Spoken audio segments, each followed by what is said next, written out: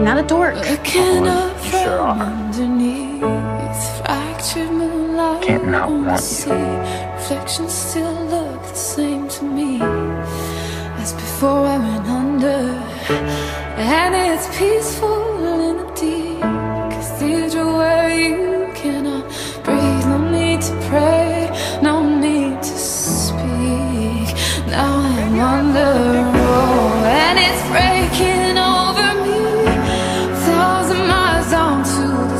seabed, found a place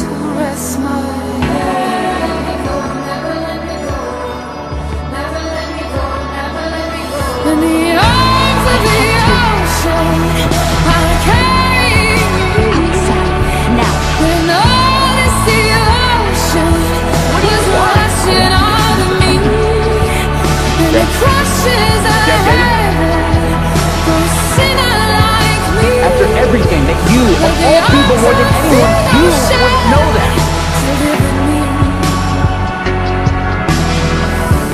Though hard to take, it's the only way I can escape.